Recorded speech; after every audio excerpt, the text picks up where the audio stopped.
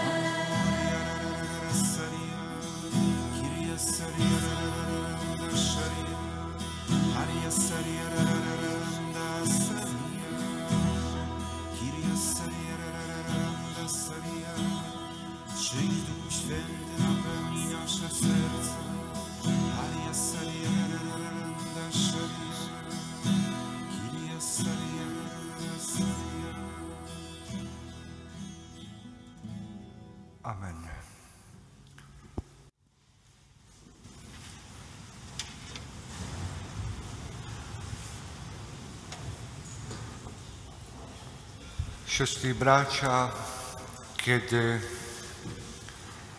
śledzimy losy bohaterów biblijnych, zauważamy, że opowiadają one o spotkaniu Boga z człowiekiem. Na tym właśnie polega dobra nowina, że takie spotkanie może wydarzyć się każdemu z nas. Tym właśnie jest wiara, osobową relacją.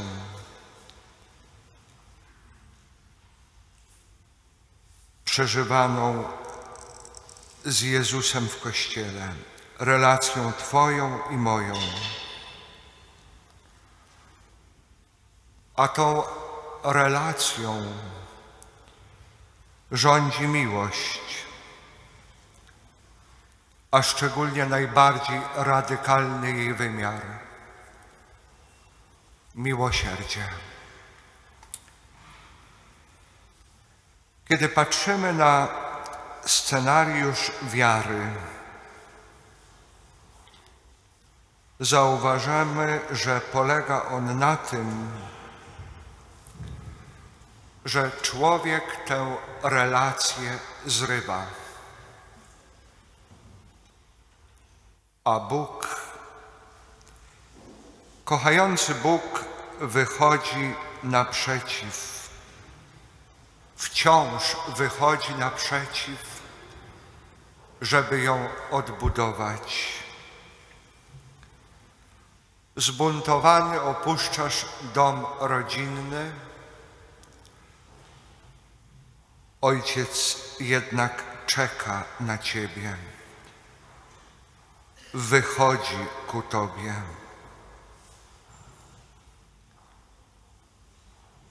Miłosierdzie jest wielką tajemnicą Boga, moi drodzy. Zawiera bowiem w sobie to, z czym mamy największe trudności. Współczucie, przebaczenie, nawrócenie. Nie stawia żadnych warunków, nie zna żadnych granic. Jest darmowe.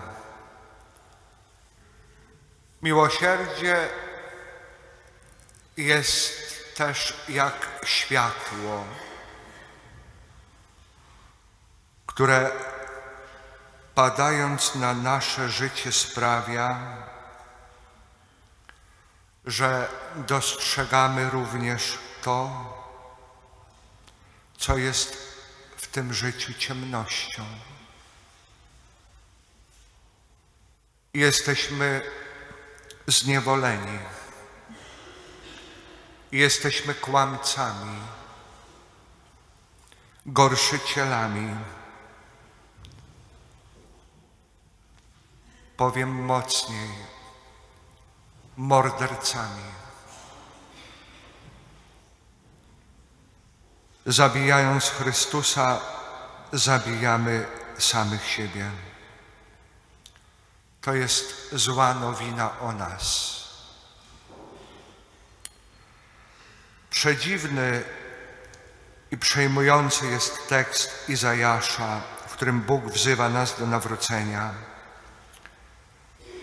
Choćby wasze grzechy były jak szkarłat, nad śnieg wybieleją, choćby były czerwone jak purpura, staną się białe jak wełna. Lecz jeśli będziecie trwać w uporze, miecz was wytępi. W świetle miłosierdzia widzimy, jaka jest nasza wiara. jaka jest prawda o nas. Schizofreniczna wiara. Biada wam obłudni nauczyciele pisma i faryzeusze, bo jesteście podobni do pobielanych grobów, które z zewnątrz wyglądają pięknie, ale wewnątrz są pełne trupich kości i zgnilizny. Przeczytamy w 23 rozdziale Ewangelii według świętego Mateusza. Do kogo mówi te słowa Jezus? Do ludzi pyszniących się własną wiarą. Taka jest prawda o mnie, o Tobie, o nas, o Kościele. Ale nie jest to prawda najważniejsza. Bo góry mogą przeminąć i wzgórza mogą się zachwiać, lecz moja łaskawość nie przeminie i moje przymierze pokoju się nie zachwieje, mówi Pan, który obdarza Cię miłością. Izajasz, rozdział 54. Gdzieś najgłębiej w nas, siostro i bracie, we mnie i w Tobie, zapisane jest przymierze Boga z człowiekiem, oparte o Jego nieograniczoną miłość. Kiedy czytamy Pismo Święte, zauważamy, że Biblia mówi o miłosierdziu Boga, jak i o miłosierdziu między ludźmi.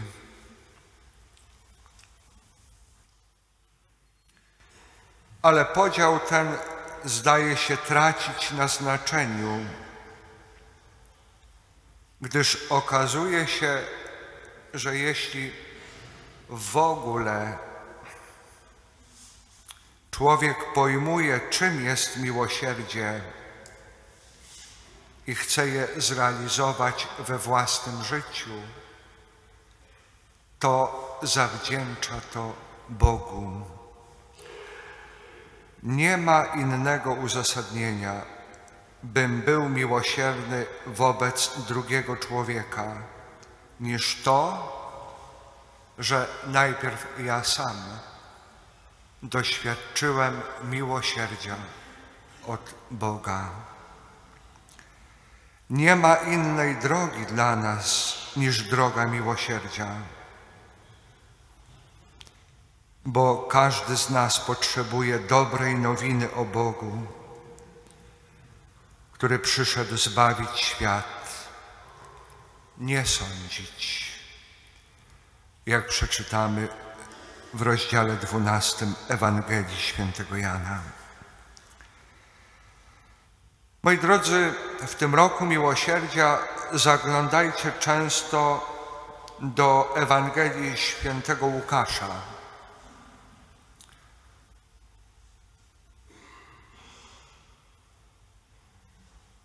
Właśnie on jest przewodnikiem po Bożym miłosierdziu. On skoncentrował się na dobroci, jaką Jezus okazuje grzesznikom. On pozostawił nam relacje ze spotkań Jezusa z grzesznikami i zachował fundamentalne nauczanie Jezusa o miłosierdziu. Jezus i grzeszna kobieta, która obmyła mu nogi olejkiem. Relacja o dobrym łotrze współczującym na krzyżu.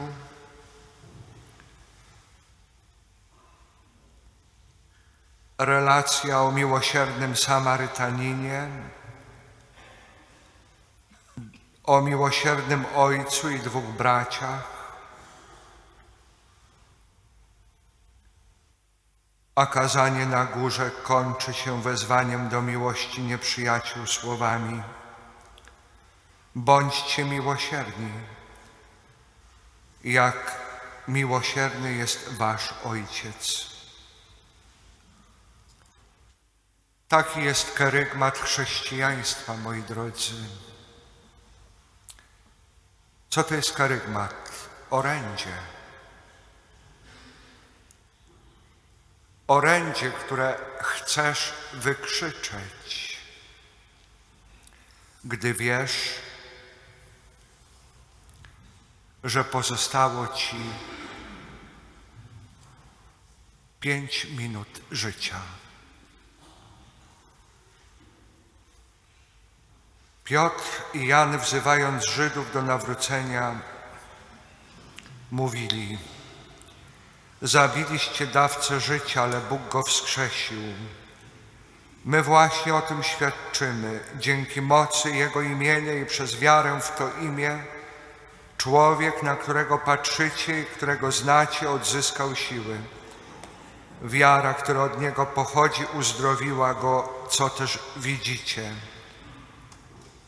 Nawróćcie się więc i powróćcie do Niego, aby zgładził wasze grzechy. Dzieje apostolskie, rozdział trzeci.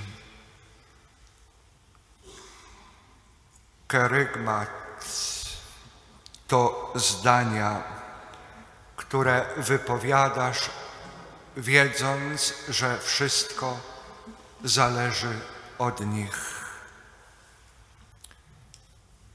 że są one może ostatnimi, które płyną z Twoich ust. Ogłaszasz to, co najważniejsze. Ogłaszasz, że zła nowina została pokonana przez dobrą nowinę. Bóg jest miłosierny.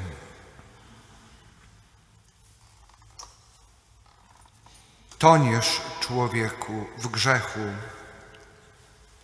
Jesteś niewolnikiem własnych słabości. Zagarnia cię śmierć. Jednak miłość Boga, który cię powołał do życia i wydał za ciebie własnego syna, wydobędzie cię spod władzy zła. Bóg miłosierny kocha i przebacza, wychodzi ci naprzeciw, nie przeocz tego spotkania. Kiedy to ma się dokonać? Dzisiaj, teraz, W tej chwili Jezus mówi do Ciebie.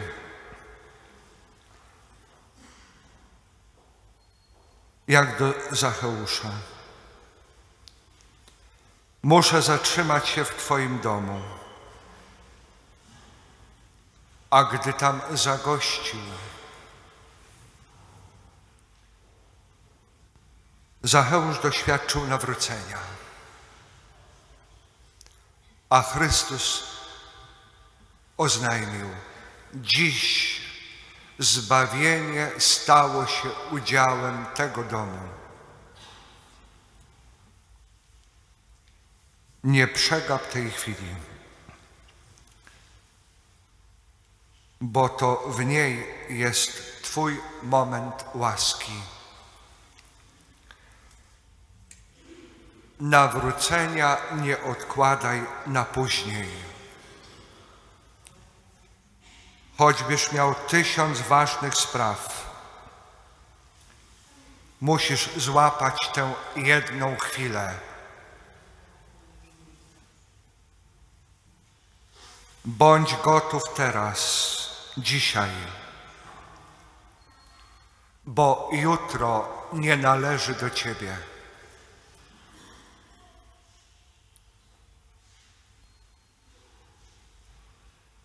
Teraz masz swój moment łaski.